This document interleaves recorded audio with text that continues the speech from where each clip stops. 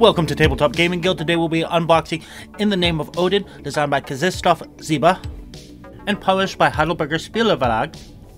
Rulebook looks well organized with a lot of images, and relatively short too. So we got our individual player boards. It looks more like uh, a system to keep your cards organized once you play them and remind you what your limits are for how many of each type you can have. We'll hold off on the board for now and look at some of these figures. They're small figures, they're not the incredible Kickstarter minis you're tending to see nowadays, but for a retail game, they're pretty nice and detailed. I like these card backs, they're nice and minimalist but effective. Fronts are okay, they're fine, they're definitely legible.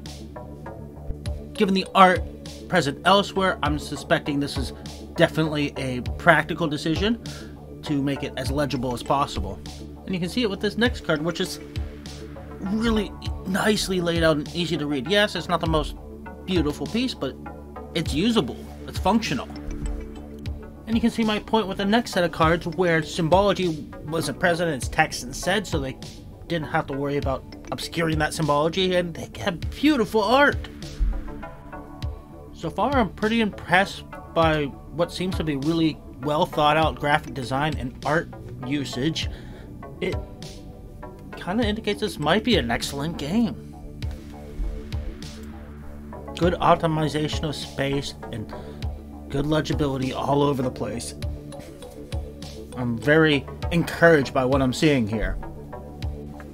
One oversight though, I wish they put extra baggies so I can reorganize this how I see fit. I do like to keep my cards in baggies rather than, you know, potentially damage them with rubber bands.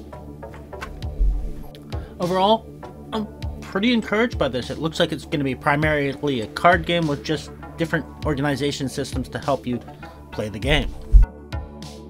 Thank you for watching. Hope you enjoyed this video. Don't forget to check us out on other social media such as Instagram and Facebook. And don't forget to like and subscribe.